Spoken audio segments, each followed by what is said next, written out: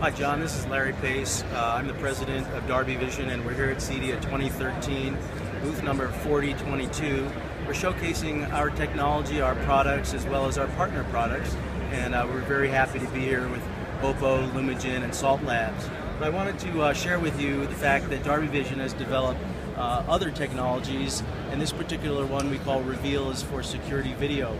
Uh, we were asked if we could develop technology that would help see through haze, fog, and rainy conditions. And of course, as a IP development company, we took on the challenge, and Reveal is the result. Uh, Reveal is uh, a way of taking information that's in a video and uh, pulling it out and letting the viewer see it better.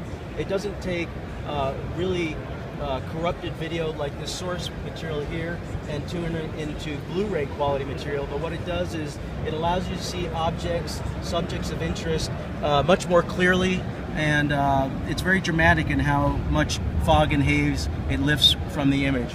Now when you combine that with our visual presence technology, you not only get the lifting of the fog and the haze, but you get to embed the depth and the pop that we're so well known for in addition. So this is our demonstration of Reveal with visual presence technology. And one output on a DVR could enhance every camera on that system to one display. Absolutely. We hope to get this in front of as many uh, CCTV installers and uh, integrators as possible because this should be a very high value for security systems. Great, thank you. Thank you, John.